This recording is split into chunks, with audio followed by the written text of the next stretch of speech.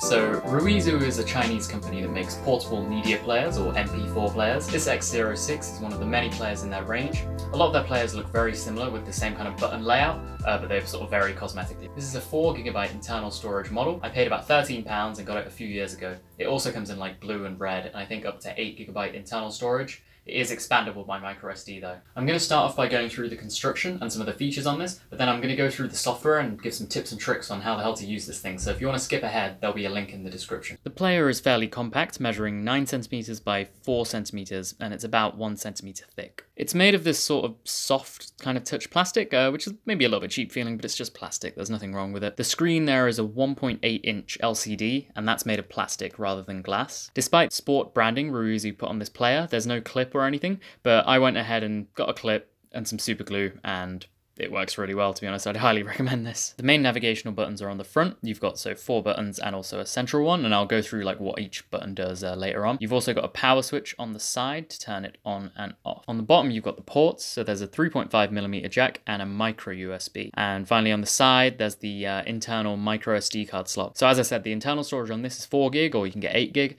and you can put a card up to 64 gigabytes in this. The main thing this player is made for is playing music. So it supports all the major music formats including loss It can also open a few formats of images. Uh, as far as videos go, it only opens one weird format I've not heard of, so probably not a video playing device. It's got the sort of standard things like shuffle and repeat. It's got an equalizer, but this only has presets rather than being customizable, so uh, audiophiles might be a bit disappointed with that. Like most MP3 players, it can sort of look at all your music and look at the metadata and then figure out, you know, what artist it is, what album it is. One of the issues with that as you use the device actually is it defaults to looking at the internal storage and not the card, so it will give you only what's on the internal storage, but you can tell it explicitly to look at the card folder, like I'm doing here. So that takes a little while to get done. But if you do do that, and you're playing music from the card, it will default by looking at the music on the card. As for the actual stripping um, of the uh, metadata, it does an okay job, but on some of my music it manages to mess it up. One of the first issues that's cropping up with this software, and I'll talk about more of the other quirks and issues uh, later on. One of the big features this has is that it has Bluetooth, so you can connect it to wireless headphones, uh, wireless speakers. You can go into the Bluetooth menu in order to do that, and you have to sort of, you know, do the standard thing, search for your device.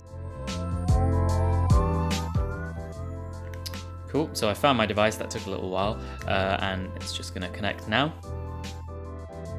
Once you're connected in Bluetooth, you can access your music only in this menu, so not when you're back in the main menu. And you can look at either sort of the local internal memory or the card folder.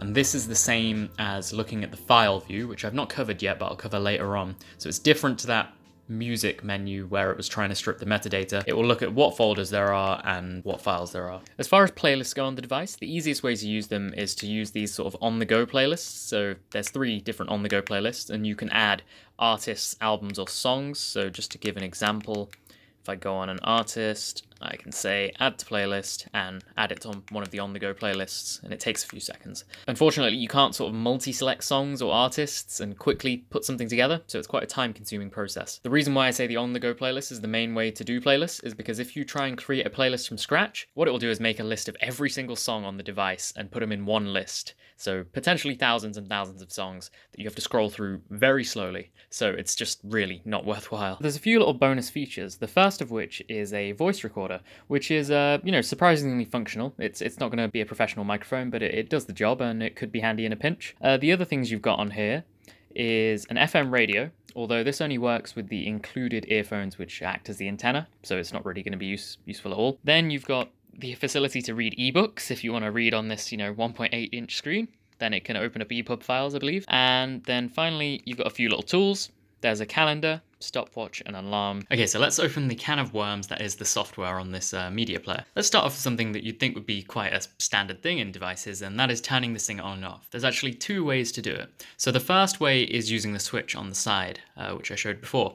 Um, the only caveat to this is when you use the switch to turn it off, it doesn't remember what it was doing. So if you're playing in the middle of a song and you turned it off here, you turn it back on, the song will be gone. You'll be back to standard.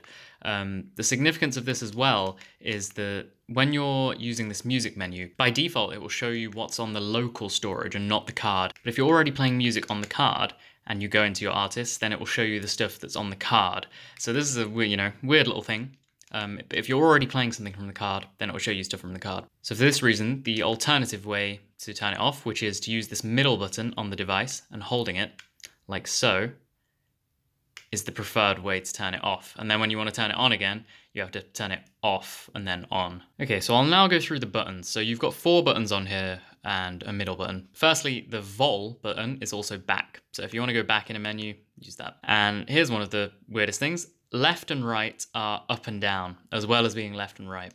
So right will send you down, like so, and left will send you up. That, that takes a while to get used to, not gonna lie. So that's navigation. And then this M key at the front is usually for extra little options based on what you are on. So you could add things to a playlist like that, or if you're on now playing, then you can access settings for the sound, like I was showing before, like an equalizer, or your play mode up here. The volume is actually changed by holding the vol button and that will come up with your volume menu. And then you use left and right as your up and down. And it's got 30 different sort of notches of volume. So that's really nice. So next up there's uh, two ways to view music on this device. Let me get back to the main menu. So there's the music menu which i've showed you before. And that you know that'll load up your artists, or it will try to. In my case it does miss out quite a few. So the other way which is tends to be my preferred way to go through files is by using the folder view. It will show you the files exactly as they are and won't do anything to them. The only problem with this is you can't sort of shuffle, um, but I tend to use this when I want to play music in order because it keeps my uh, formatting that I've got on the files, like you can see here, one, two, three, four, five, six.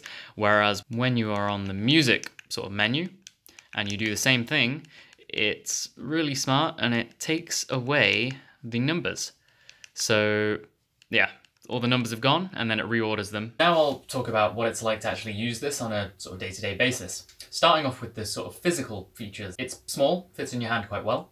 All of the buttons are quite tactile, which is nice, so it means you know when you're pressing them. And because of the layout of the buttons, you can sort of use this without looking at the screen. Like, say if it's in your pocket and you want to just change the volume, um, I find it quite easy to, you know, hold the volume button I can change it or pause the song or skip a song, so it's quite good in that respect. A small thing that's missing, which would be nice to have, is the ability to lock the buttons, so this has resulted in the occasional accidental press if I bump into something while it's in my pocket. The uh, 1.8 inch screen, it's uh, very readable, it gets quite bright, one of the issues with it is it is quite reflective, and I think this is just going to be typical for a you know plastic screen. Uh, it's really cheap. One feature that I thought they might have included because it's like a sport orientated thing is a clip. It, obviously, they didn't include a clip, but uh, as you can see, I've got my little improvised uh, thing here. I'd really recommend doing this if you buy one of these because you can just attach it to your clothes and it works exactly the same as a proper clip would.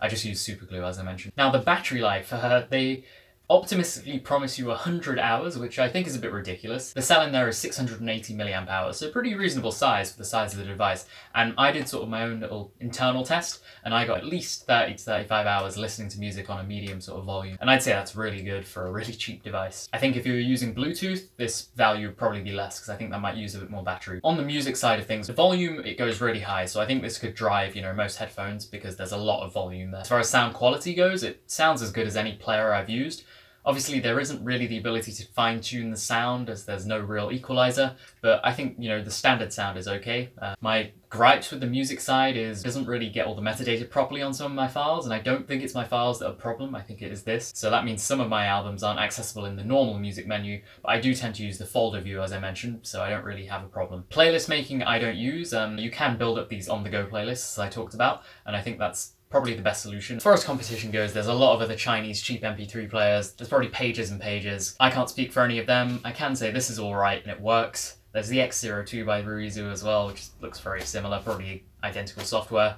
So I think with any of those, they're probably all very similar. Uh, it's just a case of what you think like it's just a case of what you like the look of. I think the Bluetooth on this is a rare feature, so maybe that's one thing this has got going for it. As for more mainstream kind of MP3 player brands, SanDisk have quite affordable players as well. Maybe you say double the price of this. The software is going to be a lot better on them. And also they have support for this software called Rockbox usually. That's an amazing like custom software that has way more features than you could ever need. Unfortunately, it's not supported on here. As far as I understand, it's because the performance of the X06 isn't high enough, like the RAM and the processor. Okay, let's do the standard summary stuff. So this is a really cheap player, comes in at £13, and it, you know, it works. It plays music and that sort of thing. It's got a really long battery life, 30 to 35 hours, maybe even more. A bit less if you're using Bluetooth. The sort of physical proportions of the device and using it, that's quite a good experience, so no complaints there. So the last thing is really durability. I've had this for a few years and it's still working just how it was when I got it. Okay, on to the cons. The first one is going to be the software, which, um, as I've said, it has a bit of a learning curve. As you've seen, there's a few weird quirks. One of the major issues with it though is particularly with the music playing functionality because especially with my files, some of my artists it's not able to read the data and I've had a look over my files and it doesn't seem to be the metadata on the files so it's something this is doing potentially. Another thing lacking is the ability to have an equalizer. Some people will miss that feature but for others it's not a big deal. For me it's not a huge deal. And a very minor thing is that you can't lock the buttons on it so sometimes you get the odd button pressed by accident. Okay that's all I have to say. If you have any more questions drop them in the comments otherwise I'll see you in the next one.